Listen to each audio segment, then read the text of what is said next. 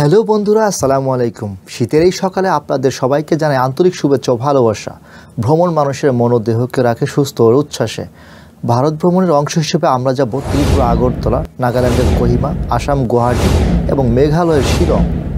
আমাদের এই পর্বে আমরা যেতে চলেছি ভারত ভ্রমণের প্রথম পর্বে ঢাকা থেকে কীভাবে স্বল্প খরচে ত্রিপুরা, আগরতলা যাবেন, কোথায় থাকবেন এবং তার বিস্তারিত বর্ণনা।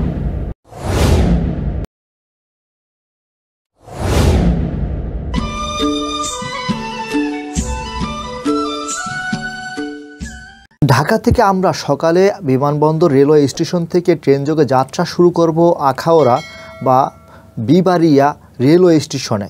তাই সকাল সাড়ে ছয়টায় পৌঁছে গেলাম ঢাকা আন্তর্জাতিক বিমানবন্দর রেলওয়ে স্টেশনে। এখান থেকে ট্রেনের টিকিট নিয়ে যাত্রা শুরু করব আখাওড়া সীমান্তে। ট্রেনের টিকিট মূল্য ভ্যাটসহ একশো ষাট টাকা। আর আমাদের যেতে সময় লাগবে দুই ঘণ্টার মতো। সকাল সাড়ে আটটার দিকে ট্রেন ছেড়ে দশটার দিকে পৌঁছে যাবে আখাউড়া রেলওয়ে স্টেশনে। ঢাকা বিমানবন্দর রেলওয়ে স্টেশনে পৌঁছার পর যেটা দেখলাম, সেটা হলো এখানে কানায় কানায় পরিপূর্ণ যাত্রীদের ভর। কেউ বা গ্রামের উদ্দেশ্যে ছুটে চলেছেন ঢাকা থেকে। ট্রেনের জন্য ঘণ্টার পর ঘণ্টা এখানে অপেক্ষা করছেন কখন ট্রেন আসবে। হাজারো মানুষ এই ট্রেনের অপেক্ষার শেষ করে একসময় যাত্রা শুরু করবে তার গন্তব্যে। আমরাও এই গন্তব্যে পৌঁছার জন্য এখানে অপেক্ষামান হাজারো যাত্রীদের সাথে।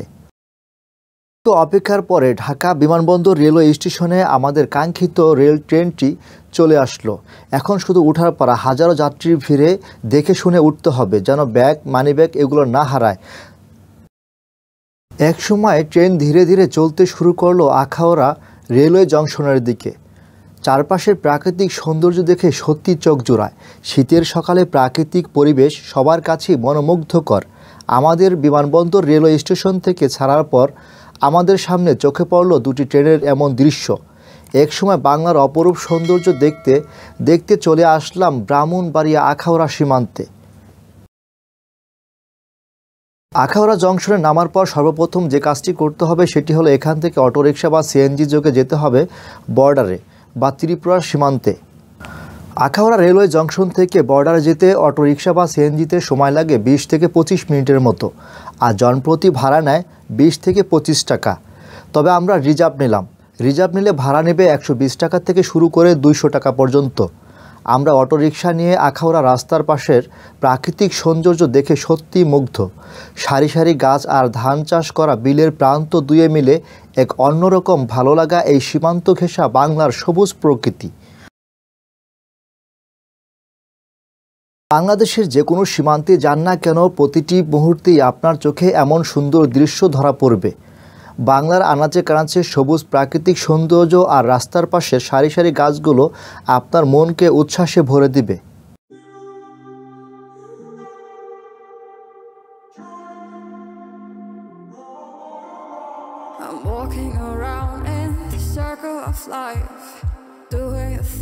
I'm. Walking the same ways a hundred of times with the same soul. But do you ever try path on the right side? Put it up in your mind. But do you ever try to path on the left side? Put it up in your mind.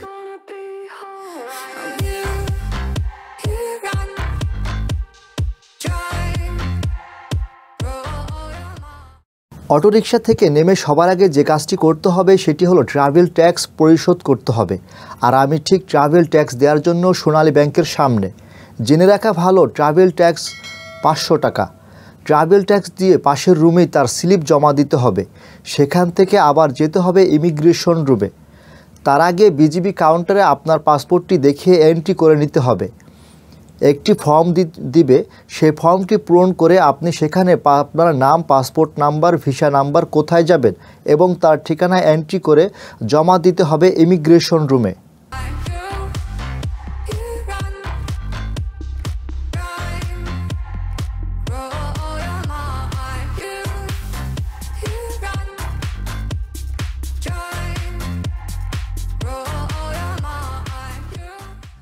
Bangladesh বর্ডারে immigration শেষ করে Bangladesh border পার হয়ে যেতে হবে Indian immigration পয়েন্টে। যাওয়ার সময় BSF সদস্যকে দেখাতে হবে আপনার লিগ্যাল পাসপোর্টটি। ইন্ডিয়ান ইমিগ্রেশনে প্রবেশের প্রথমে এভাবে আমাদেরকে হাত পা উঠিয়ে বিভিন্ন পরীক্ষা নিরীক্ষা করে তারপর আবার ছেড়ে দেয়া হলো। অনেক মজা পাইছেন, তাই না? পাসপোর্টের সিল বা ফিঙ্গারপ্রিন্টের কাজ শেষ হলে এরপর আপনাকে যে কাজটি করতে হবে সেটি হলো আপনার ব্যাকপ্যাক স্ক্যান করতে হবে লাস্ট স্টেপে এই ব্যাকপ্যাক স্ক্যান করার সময় আমাদের একজনের সাথে ক্রেডিট কার্ড না থাকাতে যে স্ক্যান করে তাকে পাঁচশো টাকা ঘুষ দিতে হলো ইমিগ্রেশন স্ক্যানে দায়িত্বরত ব্যক্তিকে।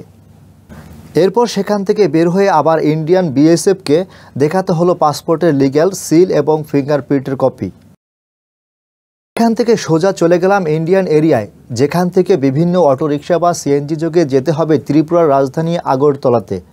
যেতে সময় লাগবে বিশ থেকে পঁচিশ মিনিটের মতো। যারা ক্রেডিট কার্ড ব্যবহার করেন না, তারা বর্ডার থেকে বাংলা টাকাকে রুপিতে কনভার্ট করে নেবেন। না হয় পরবর্তীতে সমস্যার সম্মুখীন হবেন। আর বর্ডার থেকে রুপি করে নিলে একটি বিষয় জেনে রাখা ভালো যে, ভালো রেট পাওয়া যায়। বর্ডার পার করে আমরা একটি অটোরিকশা রিজার্ভ করে রওনা দিলাম আগরতলা যেটি ত্রিপুরার রাজধানী। রাস্তার দুপাশে গড়ে উঠেছে নতুন নতুন ভবন যা ব্যবহার হবে সীমান্ত বিষয়ক সরকারি কাজে। রাস্তার কাজ চলছে একটু বেহাল অবস্থা। তবে যেতে যেতে চোখে পড়ল বেশ কিছু শিক্ষা প্রতিষ্ঠান সরকারি প্রতিষ্ঠান সহ শিল্প প্রতিষ্ঠান. ত্রিপুরা সীমান্ত থেকে আগরতলা যেতে সময় লাগে বিশ থেকে পঁচিশ মিনিটের মতো। এই মুহূর্তে আমরা প্রাকৃতিক সৌন্দর্য দেখে সত্যিই অদ্ভুত। অন্যরকম এক ভালোবাসা অন্যরকমের এক ভালো লাগা। কারণ আমরা একটি রাষ্ট্র থেকে অন্য একটি রাষ্ট্রে পদার্পণ করেছি. সময় আমরা পৌঁছে গেলাম আগরতলা মূল জাংশনে, যেটা জিরো পয়েন্ট নামে অভিহিত করা হয়। মাঝখানে একটি মন্দির, তার চারপাশে অটোরিকশা, বাস, সিএনজি বা বিভিন্ন যানবাহন অবস্থান করে। আছে বিভিন্ন হোটেল, রেস্টুরেন্ট, বাজার, বা যা দেখলে অনেকটা বাংলাদেশের মতো মনে হয়। অর্ডার ক্রস করতে যেহেতু আমাদের একটু বেশি সময় লেগেছে, তাই এখানে আসতে আমাদের সময় লাগল প্রায় দুটো বাজে। এখন দুপুরের খাবারের সময়। তাই দুপুরে খাবার খেলাম এখানে চিকেন বিরিয়ানি, তবে কালারটা সাদা নয়, কিছুটা হলুদ আর চিকেন আলাদা, তবে স্বাদ আছে অনেক। এখানে মুসলিম দোকান কম, তবে একটু দেখে শুনে খোঁজ নিলেই পাওয়া যায় আশেপাশেই। এবার একটি গুরুত্বপূর্ণ বিষয় বলে রাখি। এবার হোটেলে ওঠার পারা কারণ আপনি কোথায় থাকবেন? আপনি আগরতলা মূল কেন্দ্রে বেশ কিছু হোটেল পাবেন। প্রতি রাত পাঁচশো রুপি থেকে শুরু করে পনেরোশো রুপির মধ্যে পড়ে। আমি নির্দিষ্ট কোনো হোটেলের নাম উল্লেখ করলাম না এখানে। আপনারা গুগল সার্চ করে দেখতে পারেন। আমরা যে হোটেলটিতে উঠেছি তার নাম ত্রিপুরাশ্বরী। এটি ঠিক রেলওয়ে জংশনের ঠিক সামনে। এটি সাজানো গোছানো অনেক সুন্দর পরিপাটি এবং সহজে যাতায়াত করা যায় এই হোটেল থেকে সব জায়গায়। আমাদের হোটেলটি ছিল আগরতলা রেলওয়ে জংশনের ঠিক প্রবেশ প্রা- দ্বারে। আর এই হোটেল থেকে বিভিন্ন প্রান্তে যাওয়া যায় খুব সহজেই। এখান থেকে সিএনজি, অটোরিকশা পাওয়া যায় সহজেই। সিঙ্গেল বেডের রুম অনায়াসে দুইজন থাকা যায়। বলতে পারেন ফ্যামিলি পারফেক্ট রুম। এর ভাড়া পড়ল এক হাজার রুপি প্রতি রাত। আছে টিভি, ফ্রিজ ওয়ার্ড্রোপ আয়না। পাশের জানালা দিয়ে দেখা যায় রেলওয়ে জংশন।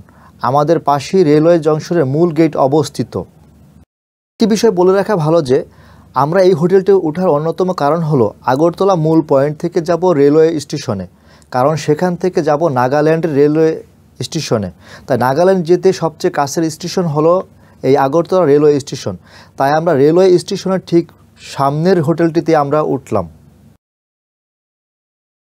বিষয় জেনে রাখা ভালো যে আগরতলা নামে গুগলে সার্চ দিলে যে ছবিটি সবার আগে আপনার চোখের সামনে ভেসে ওঠে, সেটি হলো আগরতলা রেলওয়ে জংশনের ছবি। আমরা ঠিক এখানে দাঁড়িয়ে আছে আপনাদেরকে দেখানোর জন্য। আমরা যে রেস্টুরেন্টে উঠেছি, সেটির নাম হচ্ছে হোটেল ত্রিপেশ্বরী। এটি ঠিক রেলওয়ে জাংশনের ঠিক পাশে অবস্থিত। আগরতলা যে সেন্ট্রাল রেলওয়ে জংশন রয়েছে, সেটির মূল গেটের পাশে এটি অবস্থিত। আগরতলাতে বর্তমানে যে কয়টি রেস্টুরেন্ট আছে, তার মধ্যে মানে রেস্টুরেন্ট বলতে আবাসিক হোটেল আছে, তার মধ্যে অন্যতম হলো এটি। কারণ আমি অনেক জায়গায় দেখেছি যে ভাড়া এবং থাকার যে সুব্যবস্থা রয়েছে, সেই তুলনায় এখানে অনেক ভালো মনে হয়েছে আমার কাছে। তার মধ্যে অন্যতম হলো রেস্টুরেন্টটি নতুন এবং যথেষ্ট পরিমাণ সুন্দর পরিপাটি। রেলওয়ে জংশন অনেক সুন্দর এবং পরিষ্কার পরিচ্ছন্ন একটি স্টেশন যেটি বাংলাদেশে ভাবা যায় না। যেখানে সেখানে কপ থুতু ফেলা নিষেধ। সামনে রয়েছে একটি ফোয়ারা যেটা অনেক সুন্দর দেখতে।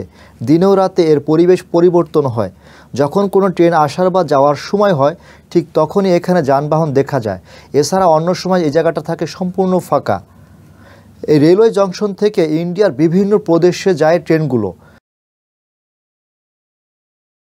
আপনি আগরতলা শহরে আসবেন আর আগরতলা ষড়যন্ত্র মামলা সম্পর্কে জানবেন না, এটা কি হয়?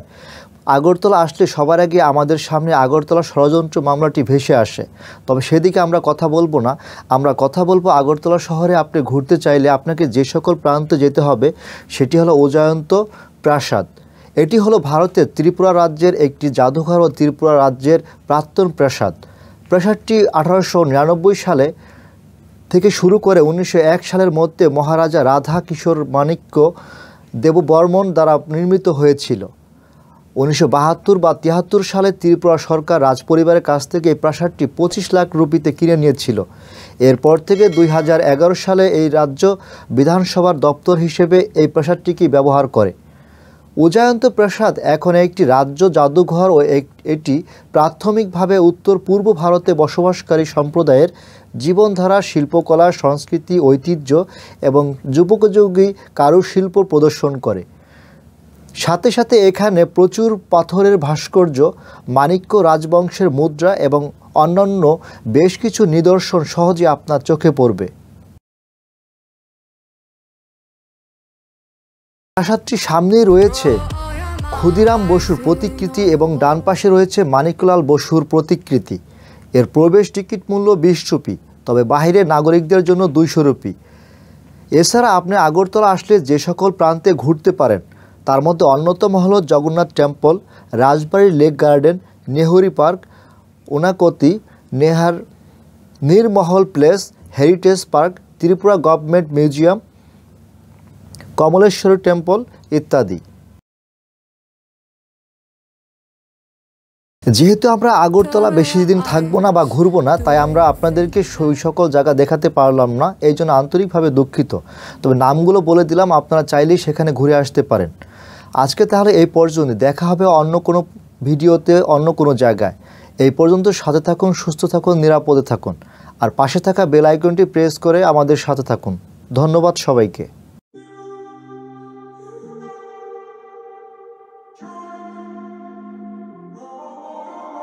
I'm walking around in the circle of life, doing the things I know. Walking the same ways a hundred of times with the same soul. But do you ever try to path on the right side? Put it up in your mind. But did you ever try to path on the left side? Put it up in your mind.